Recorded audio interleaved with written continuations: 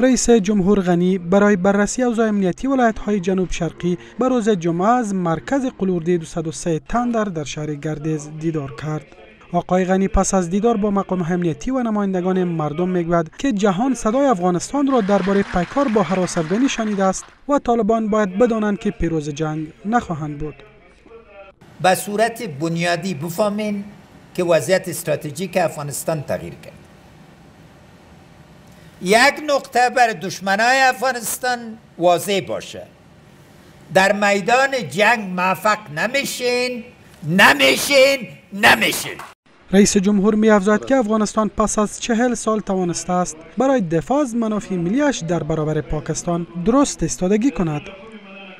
در افغانستان ولس باند جنگ تپل سوی. دا څلوېښت کاله بحران ختم غواړي او موږ او تاسې به په ټینګه اراده دا ختم کړو او پکتیاوالو باندې د ټولې لوی پکتیا پولیس باندې مناره داده چې اوس علما کرام قومي مشران ځوانان جرګې جوړې کوي نور ټولو زونو د افغانستان ته د سولې جرګې بیست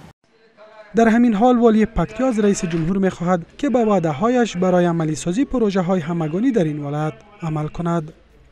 پکتیا ولسونه یو ولسونه یو رقم بدګمانه شوي دي دولت باندې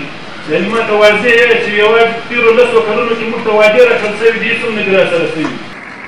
رئیس جمهور همچنان از فداکاری های نیروهای امنیتی در جنگ با حراس افغانان ستایش کرد.